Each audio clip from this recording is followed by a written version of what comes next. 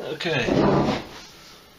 So in this video is going to be super boring unless you are interested in pH meters. Um, why pH meters are important, um, or at least as far as brewing. The two main reasons that at least, at least that I use mine is for measuring for measuring uh, pH of your mash which we all know should be around 5.2. Um, there's a lot more people that know more about that than me.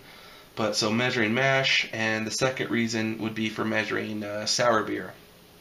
And in this case, I'm going to be measuring, I have not measured this yet, but um, I'm going to be measuring a quick sour beer that I'm um, that I'm uh, trying to create, I guess you could say.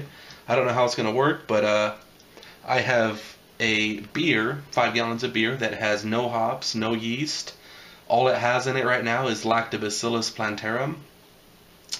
And so it's been in there for actually not that long, probably eight hours. No, six hours, seven hours. So it's pretty early on, but we're going to measure it anyways to see what's going on with it. So, um, this is the meter that I have. It's a pH meter by Milwaukee. It's uh, model 102.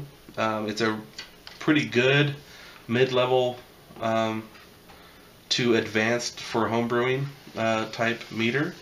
It has a uh, uh thermometer, which is this black skinny one, and then it has the um, the probe, the measuring probe, right here. So, uh, I usually like to store my probe in. I used to store it in a, a storage solution, and I don't know if this is correct, the correct way to do it. I don't know, but I would fill up this little case with storage solution. I would jam this bad boy into it and I would try to like this thing kind of like floats up. So I would try to seal it in there. But uh, you know a month or two later I would bring it out and it would just be full of like crystals like this right here. I don't know if you guys can see this. This is like leftover crystals and it like gets real crystally. So I don't do that anymore just because it doesn't stay wet in here but I usually just store it in there dry so that might be the wrong way to do it. But, so let's go ahead and turn this thing on. So what we have here is tap water, and this is distilled water. So without doing anything to the meter, um, I have uh, calibrated this not too long ago, like 20 minutes ago. So I assume it's going to be pretty close. So it's saying that my tap water is 6.54 pH. So let's see what tap, let's see what RO water is, reverse osmosis, or distilled water. I'm sorry. So it's saying that distilled is, it's going up to 7. Point, kind of going down now. It's saying 7.3, 7.28. You basically, I'm not going to wait for it to finish, but there's a little, at least on my meter, there's a little tiny hourglass right here. And that kind of tells you when it's, when you can kind of take the, when it's done reading it, when it's done kind of fluctuating for the most part. Okay. So we're not going to wait around forever. So every time you use this, um, you have to basically calibrate it, which is what I'm going to go over. And why that's important. Well, your pH meter, unless you use are using it daily, and even if you're using it daily, I think you still need to calibrate it. But for home brewing purposes, it's going to be within days and probably weeks before you use it. So, so anyways, let's go to so to calibrate it, we have two different types of solutions. We have 7.0 and we have 4.01 solution. So If you are to measure anything beneath 7.0, which is everything, as far as I know, as far as beer brewing, you need 7.0 and 4.0. If you're measuring pH above 7.0, you have to get pH 10.0 solution to do the uh, correct reading. Okay. So, yeah, just to clarify, if you're going to be brewing beer, you need 4 and 7. That's it. You don't need the 10.0 solution. So, what we're going to do is hit calibrate. So, it starts blinking 7.01. So, I like to kind of shake it off, make sure there's no air bubbles in there. And now we just kind of put it in the 7.01 solution and we will take a quick break and come back when okay, we're back. So the hourglass has stopped flashing. So that means that it has calibrated itself to, to this solution as 7.01. So hit confirm that this is correct. And so now it starts flashing 4.01. So I'll rinse this out in a little distilled water or tap water, which is I've always used. And we'll throw it in some 4.0 solution. So again, this takes about a minute and a half, so I'm going to cut okay. the video. So about a minute and a half has gone by, and the hourglass has stopped flashing, so I have 4.01, so it's saying that it's, it's calibrated itself to 4, uh, the 4 pH solution. We'll hit confirm one more time. It stops flashing. Now we're calibrated. So as you can see, it just went to 3.99. Uh, that's because, you know, 3.98. That's because this is a $100 pH meter. This is, you know, tenths, hundredths.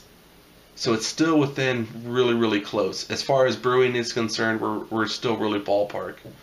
Um, you know, 3.96. So we're still super, super, super, super close. And to prove that, I'm going to move this over to the 7 solution. Let's see what it says before we move that over to my beer.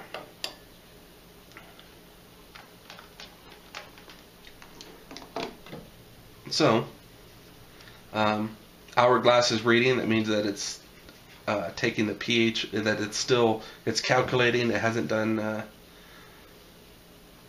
it's not done reading it. When the calculator, when the uh, hourglass kind of goes away, that's when it's you know pretty much dialed in.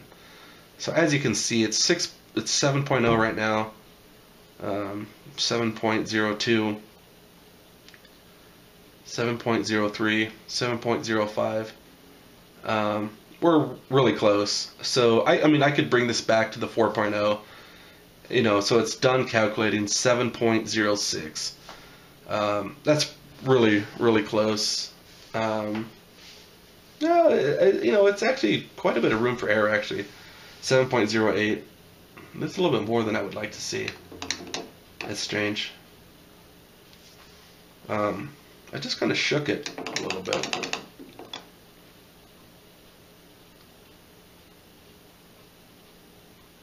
Okay, 7.07.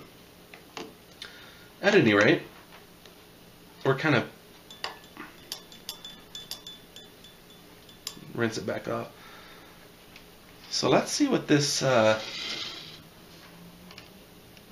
this quote unquote pre-soured beer is going to be at. So this was a uh, this is a beer I have going right now that um, I pitched um, Lactobacillus plantarum in. I pitched it probably only. I probably pitched it at two or one. So it's had nine hours in it.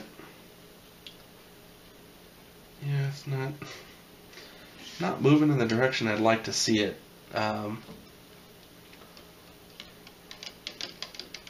I guess this is kind of a fail as far as brewing is concerned, but Um,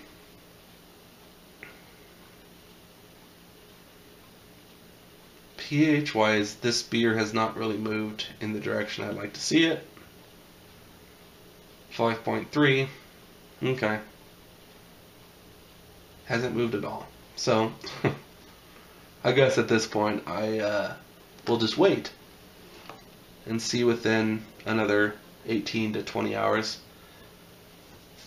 if the pH does swing southwards. Uh, for for my intensive purposes, I would like to see this beer at 3.3 pH, which is quite sour. Um, as you can see, 5.3. That pretty much means that there's no sourness in the beer, which kind of confirms what I tasted when I tasted the sample. Um, I have not uh, I don't really have a backup plan, so this is kind of where we're at. But at any rate, so this is how you calibrate um, at least this particular Milwaukee 102 reader pH meter. But other readers should be similar as far as the steps, as far as um, uh, taking the solution, the pH solution, taking taking a reading, and we'll let's confirm right now. This is just kind of I'm just rinsing it. It says in the manual that you should have like a a 4.0 rinsing solution and then the measuring solution. I don't do that. So again, just to kind of recap, this should end at 4.0 ish yeah, at any rate, um, these things are super handy. They work so much better than strips. I mean, we're nitpicking over like really small numbers here. And actually, let's see here. Okay, it is going down. But we're nitpicking over like really minute, like 4.10 or 4.20, where the pH strips are like super inaccurate. I don't trust those things at all. I think this is kind of but, uh, something that you should focus on when you have everything else dialed in. So if you're doing uh, starters, you're you're rehydrating your yeast. Don't just pitch it on top, which can work, but I suggest uh, rehydrating your dry yeast. You're making good yeast starters. You're doing fermentation control, and you can control your mash temperature to a, a certain extent. Um, I think this is the next step so, yeah. So aside from that little rant, I hope you guys enjoyed the video, and we'll we'll, we'll talk to you later. Bye.